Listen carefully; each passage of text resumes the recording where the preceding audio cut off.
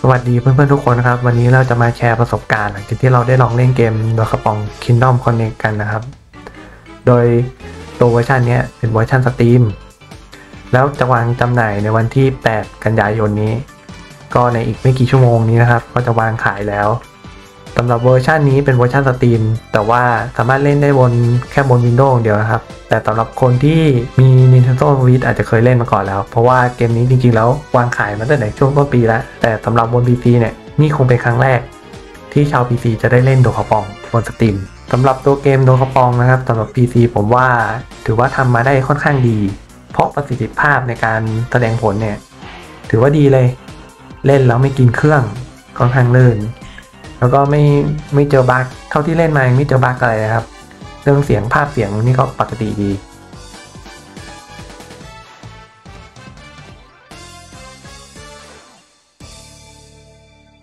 ส่วนระบบการเล่นก็ตามแบบฉบับ Dokapon นะครับ ก็คือเล่นได้ 4 คน ส่วนการควบคุมก็คือสามารถเล่นบนคีย์บอร์ดได้ ถ้าจะเล่น 4 คนบนคีย์บอร์ดเดียวก็ทำได้เหมือนกัน หรือถ้ามีจอยก็สามารถเล่นผ่านจอยได้เหมือนกัน หรือถ้าเกิดใครอยากจะเล่นออนไลน์ก็มีระบบออนไลน์ด้วยสำหรับคนที่ไม่รู้จักเกม Dokapon นะครับ เกม Dokapon เนี่ยเป็นเกมทำลายมิตรภาพ ที่มีชื่อเสียงมาตั้งแต่ในอดีตล้วโดยจุดเด่นของเกมก็คือเป็นเกมกระดาน โดยที่มีตัวละครหลักอยู่ 4 ตัว ซึ่งตรงนี้ก็คืออาจจะเป็นผู้เล่นก็ได้ หรือเป็นบอทก็ได้ โดยตัวละคร 4 ตัวเนี่ยจะต้องทำเป้าหมายให้สำเร็จ ซึ่งเป้าหมายก็คือการคล้ายๆการปราบจอมมารอะไรเงี้ยก็จะมีเป้าหมาย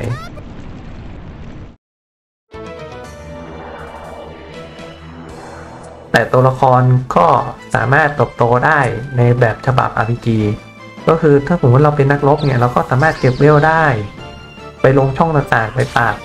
ปีศาจเก็บเลเวลเก็บเงินหาไอเทม ก็ตามแบบฉบับของเกม RPG แต่ว่าถูกนำเสนอออกมาในรูปแบบของเกมกระดาน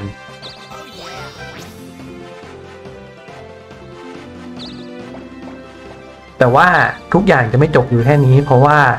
ฟังก์ชันที่เพิ่มเข้ามาก็คือ การที่เราสามารถต่อสู้กับผู้เล่นด้วยกันได้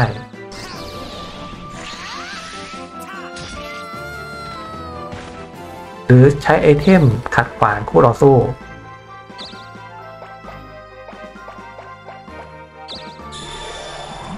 นี่นะครับคือความวุ่นวายที่เกิดขึ้นในเกมโดคาปอง โดยโหมดการเล่นก็ตอนนี้มีอยู่ทั้งหมด 3 โหมดด้วยกันก็คือมีโหมดในเรื่อง โหมดในเรื่องนี้ก็ถ้าเล่นก็ค่อนข้างยาวยาวมาก ยิ่งถ้าเกิดเล่นกับบอทหรือเล่นกับเพื่อน 4 คนเนี่ยไม่แน่ใจว่า 3-4 ชั่วโมงนี่จะเคลียร์หรือเปล่า ส่วนโหมดที่ 2 เป็นโหมดปกติก็คือ เราเป็นผู้ที่กำหนดความยาวของเกมนะครับ เรากำหนดได้เป็นวีคกี่วีคจบ แล้วก็มีอีกโหมดคือเป็นโหมด Battle Royale ก็สำหรับเท่าที่เล่นมานะครับ ก็รู้สึกว่า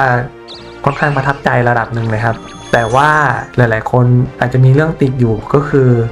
ราคาของโดกระปอง Kingdom Connect ซึ่งผมไม่แน่ใจเหมือนกัน เพราะว่าจากที่ไปอ่านในบอร์ดแล้ว ราคาเกมนี้อาจจะประมาณ 50 เหรียญ ซึ่งถ้าเกิดเป็นราคาไทยก็อาจจะขึ้นหลักพัน แต่นี้ผมไม่แน่ใจนะอาจจะมีเลทราคาไทยก็ได้ถ้าเราได้เลทราคาไทยอะอาจจะอยู่ประมาณที่ 300-400 ก็ได้ แต่ผมไม่แน่ใจว่าค่าย Ideal Factory เนี่ยเขาจะปรับราคาให้เราไหม แต่เท่าที่เราดูราคาของ Ideal Factory ราคาเกมที่แพงที่สุดจะอยู่ที่ประมาณ 900 ก็ราคาที่เป็นไปได้ก็จะประมาณนั้น หรือถ้าเกิดเราโชคดีอาจจะได้ราคาประมาณสัก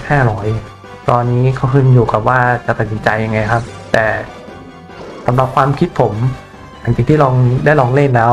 ถ้าคุณมีเพื่อน แล้วคุณกำลังหาเกมที่กำลังแก้เซ็งให้กับเพื่อน แล้วคุณชอบเกมกระดาน คุณชอบเกมที่ทำลายมิตรภาพ เกมโดยกระป๋องนะครับ เป็นเกมที่เป็นที่สุด และเป็นเกมที่ห้ามพลาดสำหรับคลิปนี้จะไม่ยาวมากนะครับ เพราะว่ามันจริง ๆ มันก็เป็นแค่แบบการรีวิวสั้นๆนะ สำหรับคนที่สนใจหรือว่าอยากจะลองเล่นเกมโดยกระปองคิงดอมนะครับ ก็สามารถหาซื้อได้บนสตรีมสำหรับวันนี้ผมขอจบคลิปของเราแต่เพียงเท่านี้นะครับ แล้วพบกันใหม่คลิปหน้าครับ สวัสดีครับ